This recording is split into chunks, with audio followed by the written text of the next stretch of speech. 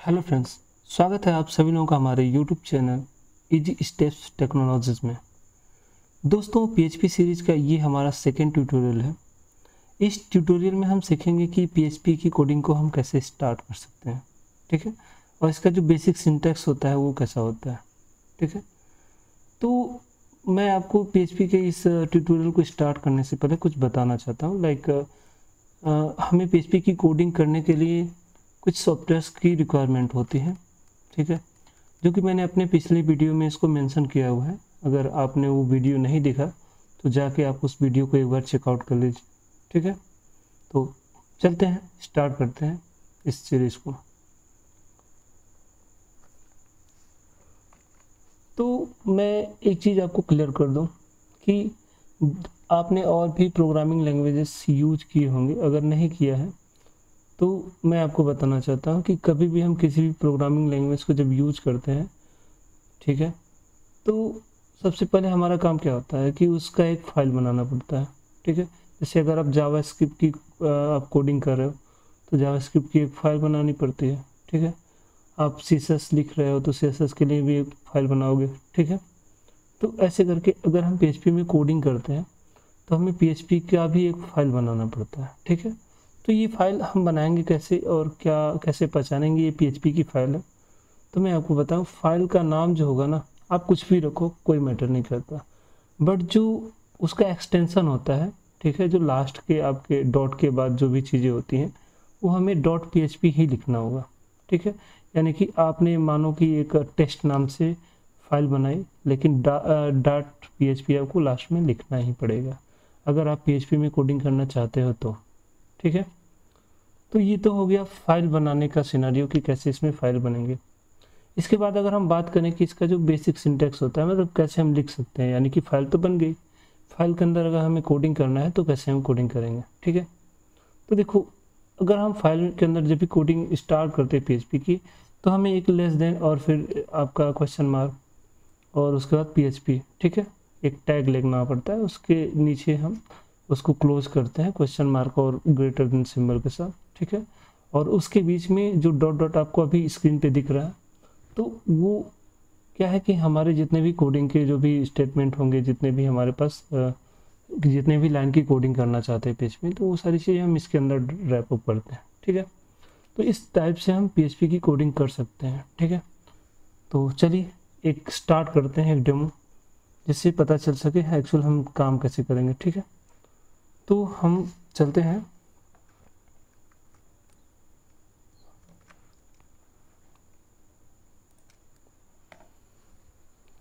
देखो PHP एक server side language है, जो कि मैंने पहले ही बता दिया है, ठीक है? तो उसके लिए हमें सर्वर की ज़रूरत पड़ती है। तो मैंने इसमें जैम सर्वर इंस्टॉल कर रखा है, और जो कि मैंने डी ड्राइव में इंस्टॉल किया। आप चाहे तो किसी भी ड्राइव में इसको इंस्टॉल कर सकते हो, कोई रिस्ट्रिक्शन नहीं है कि डी में रहेगा, ठीक है? तो जैसे ही हम जैम के अंदर जाएँगे ना वहाँ पे आपको एक फोल्डर मिलेगा जैम के अंदर आपको एच नाम का एक फोल्डर मिलता है। तो जो भी हम पी की कोडिंग करते हैं, जो भी वेबसाइट्स वगैरह बनाते हैं तो हम इसी के अंदर इसको रखते हैं, ठीक है? तो मैंने एक फोल्डर बनाया हुआ है। आप, को दिखाने के लिए मैं इस फोल्डर को डिलीट कर दे रहा हूँ, ठीक है? मैं फिर से इसको बना ले रहा हूँ, ताकि आपको कोई कन्फ्यूज़न ना रहे, ठीक है? पी एस पी ट्यूटोरियल्स के नाम से हमने एक फोल्डर बनाया, ठीक है? और इस फोल्डर को मैं क्या करता हूँ ना वी एस कोड में, जैसे कि इस पर राइट क्लिक करूँगा open with V S code आ गया। अब मैं क्या कर रहा हूँ इसको वी एस कोड में ओपन कर ले रहा हूँ, ठीक है? तो वी एस कोड में ये आपका ओपन हो गया है, ठीक है?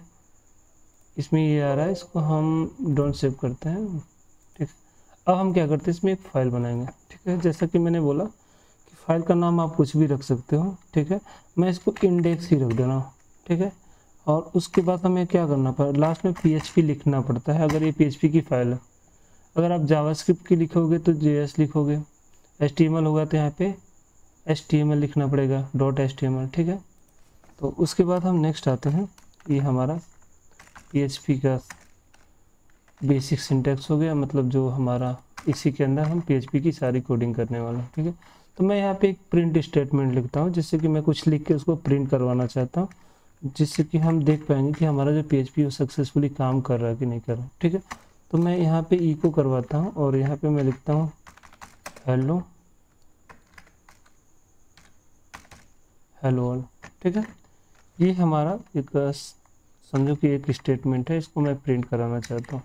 तो ई को जो होता है ना, वो किसी भी स्टेटमेंट को प्रिंट करवाने के लिए होता है, ठीक है? वो आपका जो एस्टिमल का डॉक्यूमेंट होता है, इसमें वो दिखता है, ठीक है? अब देखो, हमने एक फ़ाइल बना ली, हमने उसमें पी का एक नॉर्मल सा कोड भी रख लिया। अब बारी आ गई कि इसको कैसे रन करना है, ठीक है? तो रन करने के लिए हमें एक ब्राउज़र की ज़रूरत पड़ती है, उस ब्राउज़र में जाके हमें क्या लिखना पड़ता है? लोकल होस्ट लिखना पड़ेगा, ठीक है? और उसके बाद से आपने जो एस के अंदर जो फोल्डर बनाया ना, उस फोल्डर का नाम लिखना पड़ेगा। तो क्या था हमारा? P H P tutorials ठीक है? यही ना। तो हम इसको लिखते हैं। अभी देखो मैंने इंडेक्स लिखा हुआ तो इंडेक्स लिखने का फ़ायदा क्या होता है ना? कि इंडेक्स इंडेक्स ऐसी फ़ाइल होती है जो सबसे पहले रन होती है। हम यहाँ पे index dot P H P लिखे या ना लिखे, ये रन अपने आप हो जाएगी, ठीक है? बट अगर हम कहीं और मतलब कुछ और नाम दे देते हैं तो वो फ़ाइल आपकी रन नहीं होती। देखो, आपको एक एरर आ रहा है। मतलब एरर क्या है कि ये साइट आपका ये रिच ही नहीं कर पा रहा है। ठीक है, ये पा ही नहीं पा रहा कि जो आपने ये बनाया हुआ है, इसको ऐसा कुछ मिल नहीं रहा। क्यों नहीं मिल रहा? तो इसमें सबसे बड़ी जो चीज़ है कि जैसे हमें जब भी पीएचपी की कोडिंग को रन करना होता है तो हमें उसे उस समय जैम्प सर्वर को स्टार्ट करना पड़ता है। ठीक है? तो यहाँ पे मैंने सर्च बार पे आप जैम्प जाके खोज सकते हो, वहाँ पे मिल जाएगा। मेरा यहाँ पे आ रहा है तो मैं इसको एक बार स्टार्ट करता हूँ, ठीक है? अभी यहाँ पे एक कंट्रोल पैनल खुल गया, ठीक है? और हमें क्या करना पड़ता है? एक अपाची सर्वर इंस्टॉल स्टार्ट करना पड़ता है, और उसके बाद से ये माइस्कल डेटाबेस हमारा स्टार्ट करना पड़ता है। तो ऐसे में ये दोनों चीज़ें हमारी स्टार्ट हो चुकी हैं, और अगर मैं इसको एक बार रिफ्रेश करूँ, देखो ये आ भी गया है, ठीक है? तो अब क्या है कि आपने जो यहाँ पे कोड किया, वो सारी चीज़ें आपको कहाँ दिख रही? इस ब्राउज़र पे दिख रही। यानी कि जो सर्वर है, आपका सक्सेसफुली रन हो चुका है और अब पीएचपी की कोडिंग को आप देख सकते हो। आप कुछ भी लिख सकते हो यहाँ पे, ठीक है? मैं अपना, अगर मैं यहाँ पे ई एस टी ही लिख दूँ तो टी भी आपको वहाँ पे अपडेट होके अभी दिख जाएगा। एक बार रिफ्रेश करेंगे तो। देखो, आ गया ना? तो ये सारी चीज़ें होती हैं, ये हमारा PHP का। देखो PHP का फ़ायदा क्या है? PHP को हम एस के बीच में या फिर कहीं भी हम लिख सकते हैं। आप समझो कि ये जो स्टेटमेंट है, मैंने क्या किया, इसको कंट्रोल एक्स कर दिया, ठीक है? और यहाँ पे मैं चाहता हूँ कि एस का एक डॉक्यूमेंट बनाऊँ। ये मैंने एस का डॉक्यूमेंट बनाया, ठीक है? इसके अंदर मैं जाता हूँ, इसको पेस्ट कर देता हूँ, जो भी मेरी कोडिंग थी। अब ये क्या है? बॉडी के अंदर है, ठीक है? अब देखते हैं कि क्या हमें रिस्पॉन्स मिलता है। तो देखो, ये बॉडी के अंदर आपको ये चीज़ें दिख रही है ना? मैं चाहता हूँ कि इसके अंदर ही मैं एस का कोई टैग लिख लूँ, ठीक है? तो जैसे कि मैं एच वन लिखता हूँ। अब एच वन हमारा ये टैग है एस का, जिसका आपको पता होगा कि क्यों यूज़ किया जाता है। एक्चुअली जो एच वन होता है, वो हमारा मेन हेडिंग होता है मतलब सबसे बड़ा हेडिंग होता है, ठीक है? HTML की भाषा में अगर कहा जाए तो। तो देखो, ये हमें बहुत बड़ा यही चीज़ आपको आ गया यानी कि एच वन यहाँ पे काम कर रहा है ऑलरेडी काम कर रहा है, ठीक है?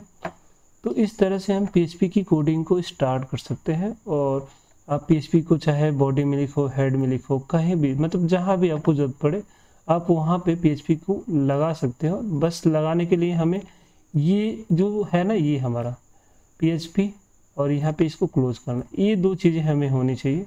उसके बाद हम PHP की कोडिंग कहीं भी लिख सकते हैं। ठीक है? तो आज के लिए इतना ही। धन्यवाद।